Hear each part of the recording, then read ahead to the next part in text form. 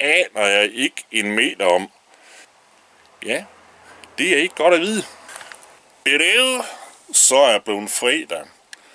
Og lige inden jeg viser, hvad jeg går og piller med i dag, så vil jeg lige sige velkommen til de sidste nye abonnenter, som er kommet her på min YouTube-kanal. Det er rigtig dejligt, men jeg kunne godt bruge nogle flere. Og hvis der er nogen, der bare sådan lige lidt overvejer at abonnere på min YouTube-kanal, så skal I dem huske at gøre det, fordi at, uh, det er helt gratis.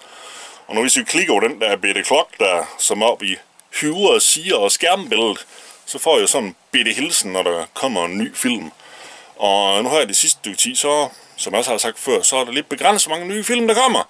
Men øh, nu hvis der er nogen, der vil se en masse mere, så kan I jo bare begynde at grave i arkivet, fordi at øh, lige nu så ligger der faktisk lidt over 1200 film, som jeg har lavet her på min YouTube-kanal.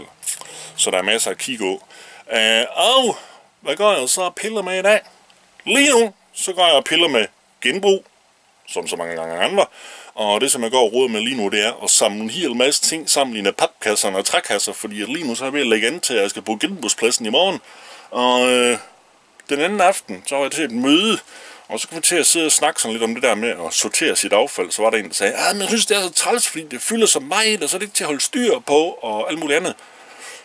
Jeg synes, så er rimelig nemt at holde styr på det, og jeg synes så heller ikke, det fylder sådan helt vildt meget.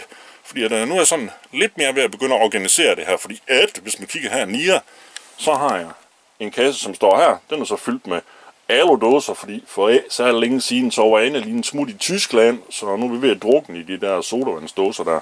Og hernede så har vi en kasse med pap, og hernede har vi en kasse med hård plast, og hernede har vi en kasse med glas.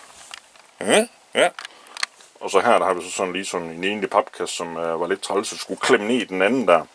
Uh, så herovre bagved har vi så en lidt mystisk udseende trækasse, som jeg så har proppet en masse træ i, som jeg har samlet sammen herinde i værkstedet. Så øh, jeg tror at det er så svært.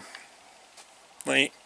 Øh, nu sagde jeg lige før, at jeg godt kunne tænke mig at få nogle flere abonnenter her på min YouTube-kanal, og det er der sådan en ganske bestemt grund til, fordi øh, jeg kunne meget godt tænke mig snart at runde det der magiske antal af abonnenter, som hedder 1000, fordi lige så snart man runder et antal abonnenter, som hedder 1000, så sker der nemlig en spændende ting hos YouTube-kanal.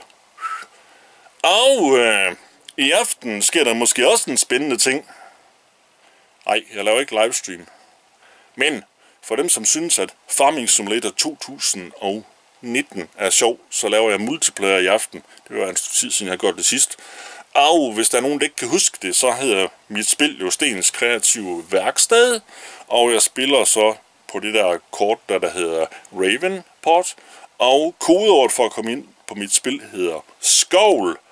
Og øhm, hvad der kommer til at ske på den der multiplayer session i aften, det aner jeg ikke en meter om. Fordi at, uh, nu er det snart ved at være temmelig længe siden, jeg har roet med det der kort, som jeg plejer at bruge til multiplayer. Så jeg kan dem ikke huske, hvor jeg kom til sidst, men øh, det finder jeg så nok ud af, hvis I synes, det er sjovt at lege med der. Og øh, hvad skal jeg så lave resten af dagen? Ja, det er ikke godt at vide. Og det var det.